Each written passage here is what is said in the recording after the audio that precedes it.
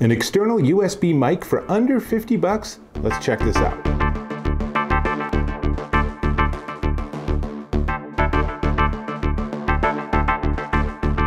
Dave Taylor here, and I'm checking out this. This is the Tonor Condenser PC Mic TC777, and it has a built-in USB cable. This is about one and a half meters long, so it gives you lots of flexibility. And it has a USB 2 on the end, so you can plug it into your Mac, your PC, your Linux machine. You can plug it into your PS4, but it ain't gonna work on your Xbox or your smartphone. If nothing else, the smartphones don't have that sort of plug, right? But for devices that have that input, it's a really nice little mic. It's really straightforward. So let's start with some specs. But first, let me pop off its little foam shield so you see a little better what it looks like. So this has 44 kilohertz, 16-bit sampling, so it's not pro level, but it's good. 100 to 16,000 hertz frequency response and a signal to noise ratio of 56 decibels. So it's intended to be, it's a cardioid pickup. So it's intended to have you speak into the front and then it's going to try to minimize the sound around you. So this is not the kind of mic that you put in the middle of a table and everyone around the table gets an equal voice, right? Well, they get their voice, but some voices are going to be louder than other voices. It's just how that's going to work. So easy to remember, it has the logo on the front. Now, it comes with the tripod and base and everything, and it's flexible, but I'm not sure why you'd use it in this situation because you want to be talking into the front. So, what's this?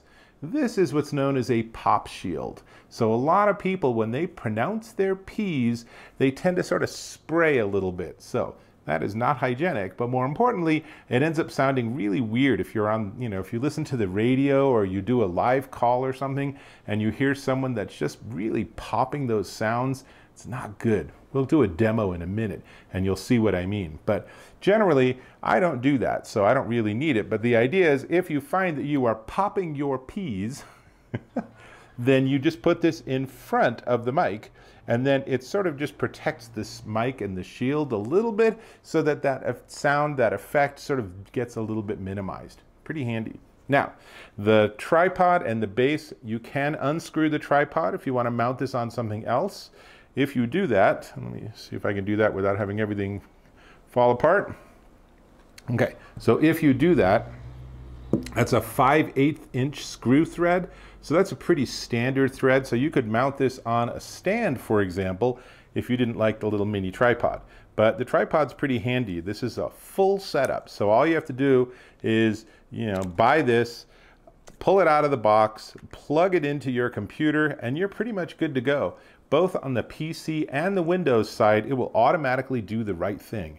And that's pretty hard to beat. So let's see, I've told you all the basics. It has the pop filter, cardioid pickup. It's good for streaming, podcasting, vocal recording. It's good for video conferences, right? So if you're doing something like Zoom or Skype or web meeting or something, then you can actually use something like this just off camera and sound way better than everyone else. That's what I do actually. I have a separate microphone because I don't really want to have the headset and everything. I don't want to look like a gamer if I'm on a professional call.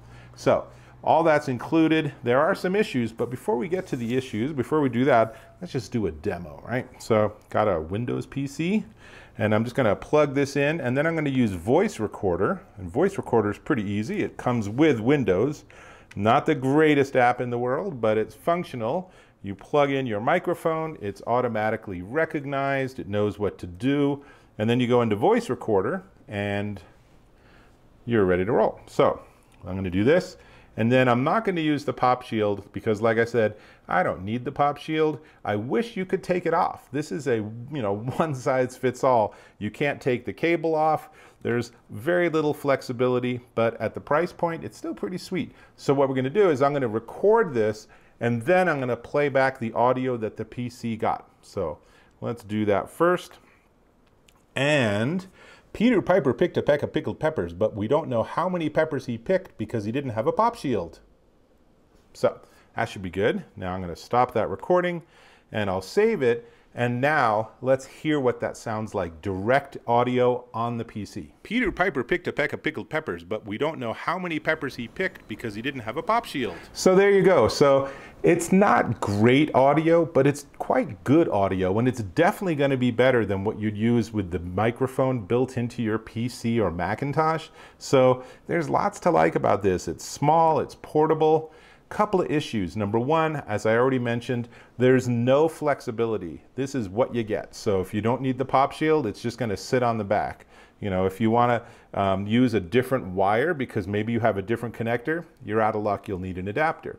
I don't like that. There's also no mute button or power button. So if you're doing this and you're like a gamer and you're using this as your gamer mic and you want to like mute because it's like, mom, I'm in the middle of a game. I don't need you to tell me that it's dinner time, right?